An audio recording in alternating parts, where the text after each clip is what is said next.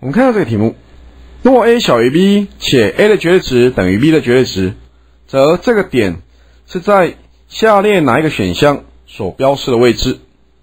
好，那么首先根据这条件，我们知道 a 是要小于零的，而且 b 是要大于零的。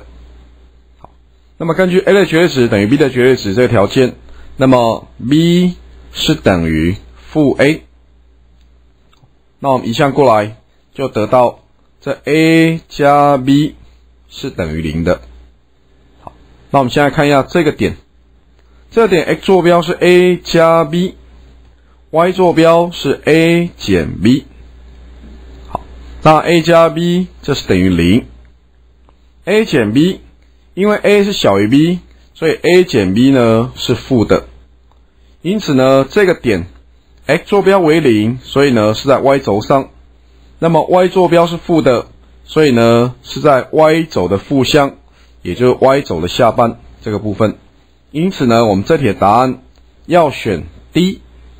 这个答案